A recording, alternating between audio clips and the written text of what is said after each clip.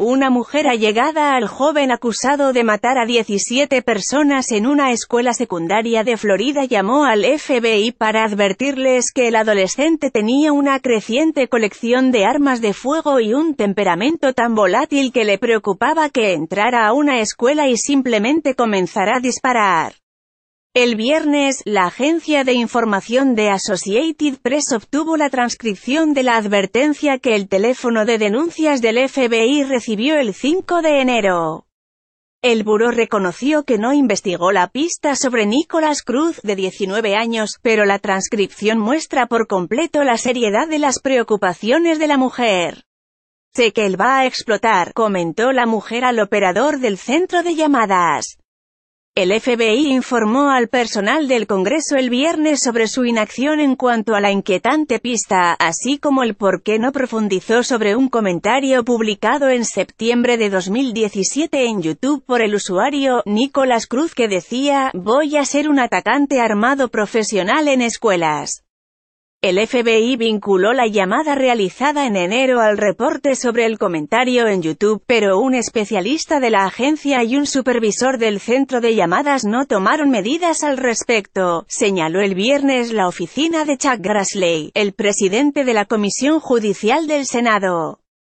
La empresa Google, quien es propietario de YouTube, también informó al personal del Congreso. Las pistas forman parte de una serie de lo que ahora las autoridades describen como las advertencias más claras que se pasaron por alto sobre que Cruz, quien tenía un historial de comportamiento errático, representaba una amenaza seria. El FBI rechazó comentar al respecto de la transcripción de la llamada, la cual fue reportada por primera vez por el periódico The Wall Street Journal. Durante la llamada telefónica, la cual duró más de 13 minutos, la mujer describió que el adolescente era propenso a la ira y que tenía una capacidad mental de un niño de 12 a 14 años que se había deteriorado luego de la muerte de su madre el año pasado. Señaló al FBI las cuentas en Instagram donde Cruz había publicado fotografías de animales descuartizados, de fusiles y de municiones que aparentemente había comprado con el dinero del seguro de vida de su madre. Es alarmante ver esas imágenes y saber de lo que es capaz de hacer y de lo que podría suceder.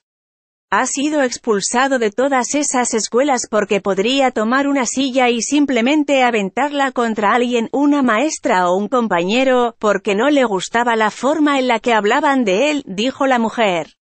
La mujer dijo que había llamado a la policía local de Parkland luego de que Cruz comenzó a publicar en Internet que quería suicidarse. Luego, señaló, la amenaza cambió a quiero matar gente. Agregó que el adolescente había matado a animales y que había apuntado a su madre con un fusil. Solo quiero que lo sepan y que pueda decirlo antes de que algo suceda. Y en verdad creo que algo va a suceder, señaló la mujer, con información de AP Map.